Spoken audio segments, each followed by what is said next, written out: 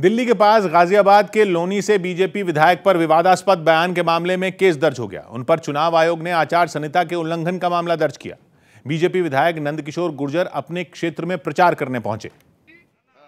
जहाँ पर उन्होंने वोटरों को लुभाने के चक्कर में विवादास्पद बयान दे डाला। लौनी में ना अली ना बाहुबली। लौनी में सिर्फ़